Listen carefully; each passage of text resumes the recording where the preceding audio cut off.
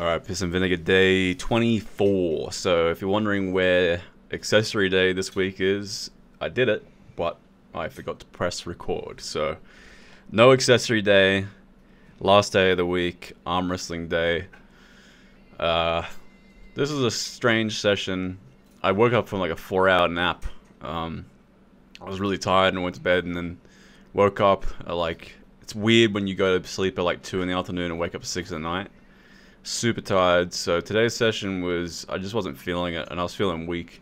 So I did a bit of experimenting, as I am doing quite a bit of during this cut. But I I was originally just going to keep my arm wrestling days exactly the same because I was still progressively overloading on everything.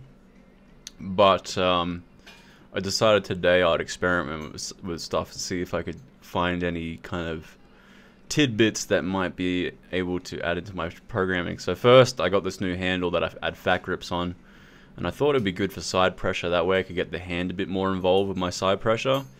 But turns out because it's it, um, I don't know how to explain it, but the handle is quite got a big circumference over the the original kind of what what it's attached to, so it sort of tilts, and it just doesn't feel right. So I ended up using the belt again to just do side pressure so that's fine. Uh, might find a different way of doing it. I, I could realistically do it with my other handle actually, but for today I just used my normal uh, side pressure karate belt. These things are super, uh, you can use these for so many different things. So 36 kilos, um, really wasn't feeling it. My elbow was really, really toothache. Like you could see me pausing between the reps, really contemplating whether I wanted to do this or not, but it has to be done. I have to do side pressure because it's all I've got in in in on the table. I haven't got the hands, so I'm I'm I'm uh, I'm uh, tenaciously gonna get this concrete elbow that just can't be pushed through. So I did three sets of five. The way I progress this is I go three sets of five, one week, and then I go five by five the next week, and then I progress. But today, I, have for the two last two weeks, I've done three by five because I haven't been able to progress.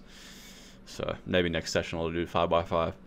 Then I move on to some um, fat grip wrist curls. I haven't done these before. This is a new addition because I just got this new handle, and I like these. These are easier to standardize than the behind the back wrist curls, and I think in arm wrestling too, it is advantageous to do unilateral work because obviously when you're on the table, it's unilateral movement. So one, you're stronger in unilateral movements because it's less uh, central nervous system efficiency required.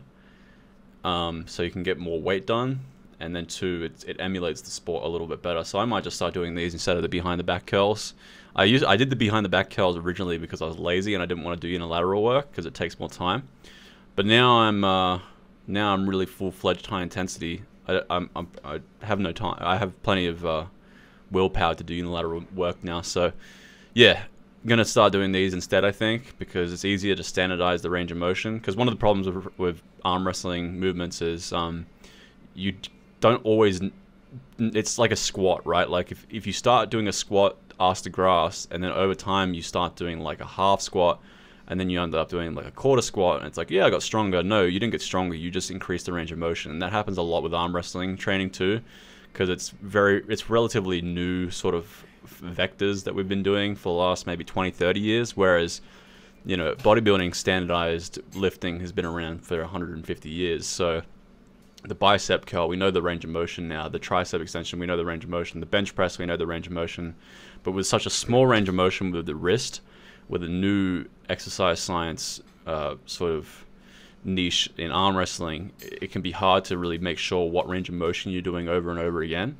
Otherwise, yeah, you get you get you get um, inconsistent progression or sometimes regression because you start using even longer range of motion. So these were good, and they burnt more than the behind the back curls too. So overall, these were a general win. I'm going to start doing these. And this is, I think, this is such an important part of experimenting with your training.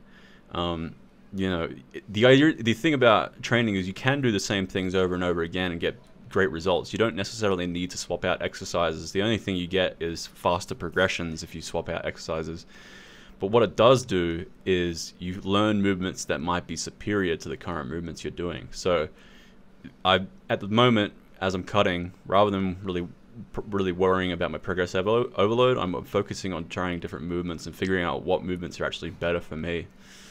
And this is a great example of that. So this was good. Probably a bit too light though. I think this was 22 kilos. Uh, I feel like probably 25, 30 would be more uh, proficient because I was getting like 15, 20 reps. And I typically like to stick between 8 to 12 reps. So yeah, but I'll I'll keep fucking around with this variation and figure out how to do it the most efficiently and most consistently. Efficiency and consistency when it comes to exercise. That's why high intensity is so important because it keeps you efficient and proficient. Uh, yeah, and I just standardize these with drop sets. Um, I do drop sets and and force reps, which is of why these are so good. Because with unilateral movements, you can, you know, obviously you can help yourself out with some force reps. So with that behind the back wrist curl I was doing, you can't really give yourself a force rep. I mean, I could use leg drive to get forced negatives, but it's just not the same as being able to grab the bar and only give yourself just the right amount of tension to get a rep. It's so much more effective than forced negatives or, you know, any other sort of way of doing beyond failure work. So you can see those were fucking very painful.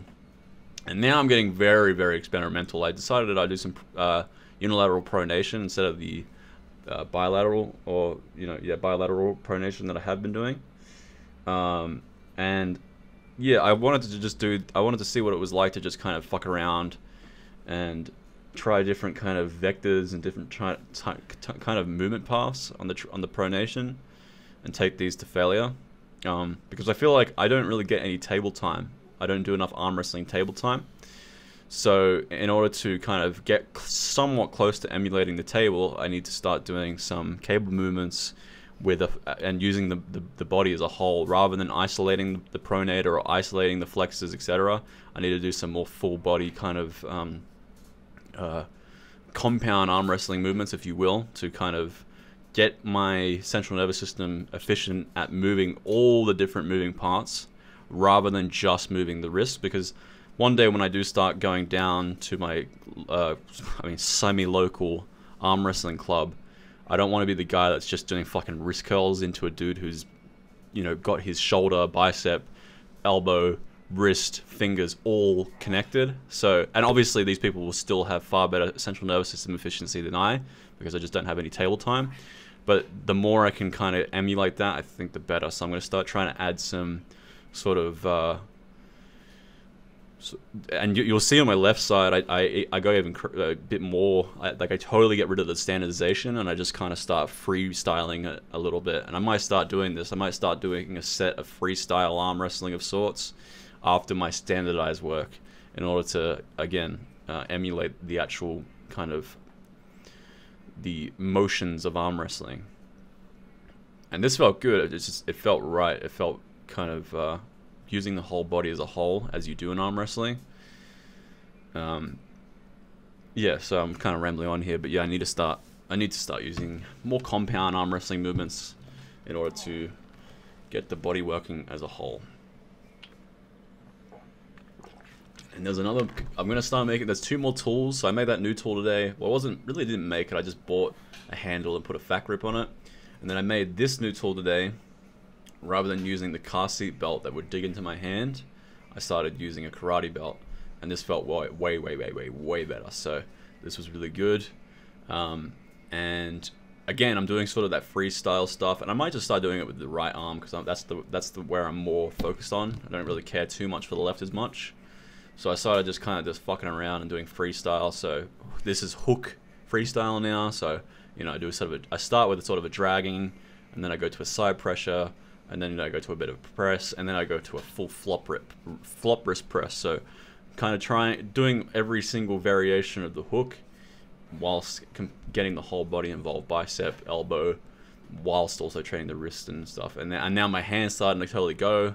So I just do some some flop wrist press. So yeah, I might start uh, start implementing more of this into my training. Now I'm doing my back pressure. Today I only got two reps on 25 kilos. Last time I did this I got three. So again, feeling pretty weak today. Not feeling it. You can probably hear it in my voice. I'm maybe I'm getting sick. I don't know, but um, yeah, wasn't fully feeling it. And then I try to get a single rep on my left, and I, you can see me trying to standardize it here. I'm doing kind of like a surfer's shaka bra fucking thing where I I go from thumb to pinky, and that's the range of motion. And that way, it stays exactly the same over time. And that's and that's was my original point when I was saying before. It's hard to standardize arm wrestling lifts because we're so new to it, and there's no machines either, unfortunately, really for it. Um, so you have to figure out creative ways of keeping it consistent. And then I did. I was supposed to do five by five here, but I could barely get four reps, so that was a that was a four rep max. So yeah, I was feeling weak today. And then I moved on lastly to some reverse forearm curls to get those brachioradialis and extensors really popping. Um, and this is really important also for just general elbow health and, and wrist health. If you are doing all this flexion work but no extension work, you're going to run into issues. You will run into overuse injuries like tennis elbow or you know potential um, RSI or uh, uh, what's that thing that people get when they're at the computer all the time, carpal tunnel. So you want to open up the fingers, you want to reverse the wrist because otherwise you will get overused. And then on top of that, the extensors take up half of the forearm. So if you have these huge flexors but no extensors, like I did for years, you'll have a very underdeveloped forearm. So highly suggest getting these done at the end of your arm wrestling days or forearm days. Or again, if you guys are out there and you don't give a shit about arm wrestling but you want big forearms, do arm wrestling variations. It doesn't have to, you don't have to do the side pressure. I mean that shit's entirely you don't need to do that. Even if you are into arm wrestling, a lot of you guys don't need to do that. I just do it because I've got very small hands, but I wouldn't suggest it for most people. Now I'm doing sort of some Tom Platz schizo reps, and that's it. That's uh, that's today's session. Sorry about not recording my accessory day, but you know mistakes sometimes are made. Anyway, see you guys for more piss and vinegar tomorrow. Bye bye.